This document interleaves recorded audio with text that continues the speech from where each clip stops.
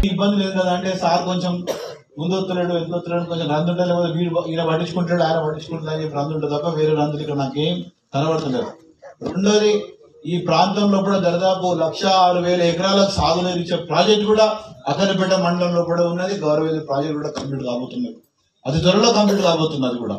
అక్కడ ఉన్న వాస్తవంగా నిర్వాసితులకు కొంచెం ఇబ్బంది ఉండే ఆ నిర్వాసితుల ఇబ్బంది అంతా కూడా దూరం చేసుకుంటూ దూరం చేసుకుంటూ వాళ్ళకి కావాల్సిన కూడా చేసుకుంటూ ఇవాళ బ్రహ్మాండంగా మళ్ళా ప్రాజెక్ట్ కోసం వాళ్ళే సహకరిస్తున్నారు. వాళ్ళే మనం చేద్దాం సార్ అంటున్నారు.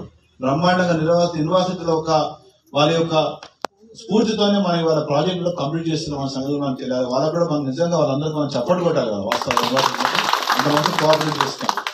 వాళ్ళే ముందుకు వచ్చి సార్ ఇట్లా అయితే సరిపోతుంది ఇట్లా అయితే సరిపోతుంది అని చేపిస్తారు ఎటువంటి ఇబ్బంది లేకుండా.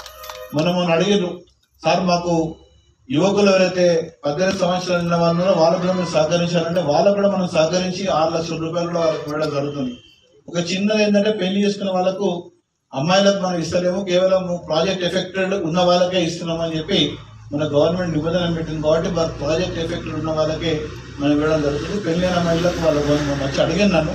తప్పకుండా వాళ్ళకు కూడా మరి నేను గవర్నమెంట్ మాట్లాడింది వాళ్ళకి ఏం చెప్పే పరిస్థితి నాకు లేదు కాబట్టి ఈ రోజు నేను చెప్పలేకపోతున్నా. నా ప్రయత్నం నేను చేస్తా అని మాత్రం మీకు తెలియజేస్తున్నాను. ఎందుకంటే ఇక మన మనకు ఒక చిన్న ఇబ్బంది ఉన్నది ఇలా ఇక్కడ ఇబ్బంది ఏంటంటే మనకు రాజకీయంగా ఏమీ ఇబ్బంది లేదు. కాకపోతే సర్పంచ్ గొప్ప నేనా సర్పంచ్ గొప్ప నేనా అని చెప్పి కొంచెం పంచాయతీ ఉన్నది ఇక్కడ. ఇలా పంచాయతీలో లోపల మనం కూడా కొంతమంది అలా ఇరికినాం. తెలుసో తెలియకో ఇరికినాం. సర్పంచ్ ఫోరం అధ్యక్షుడు కూడా టీఆర్ఎస్ పార్టీతో సంబంధం ఉంటుందా? చెప్పునా? ఎవరున్నా మనవాడే ఎవడైతే ఎవరైతే అంత మనోళ్ళే. మనం కాకుండా ఉన్నారా? జర వాళ్ళ వాళ్ళు కూర్చొని మాట్లాడితే రెండు నిమిషాలు దగ్గర పంచాయతీ అది అంతేనా కదా? మరి కూర్చోకపోయినారు మాట్లాడలేకపోయినారు కాబట్టి పంచాయతీ పనులు నీకు వేరే పంచాయతీ ఏమున్నా కాబట్టి ఆ పంచాయతీ లేదు తప్పకుండా తెగకూడదు అది కూడా పంచాయతీ పెద్ద ఇబ్బంది ఏం లేదు.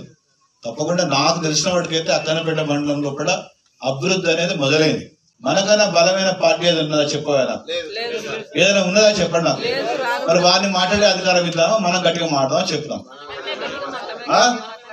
అంతే కదా రేపు పొద్దుగాల మనకన్నా గట్టి పార్టీ ఎవరు ఉన్నదా అంటే నాకు చెప్పు. ఏది లేదు మనకన్నా గట్టి పార్టీ. మనమే గట్టికున్నాం అక్కనపేట మండలంలో కూడా మనమే నేను కూడా నా మొదటి గ్రామ విజిట్లు అన్ని కూడా అక్కనపేట మండలంలో పెడతాను ఎందుకంటే ముప్పై ఒక్క గ్రామాలు ఇక్కడ ఉన్నాయి.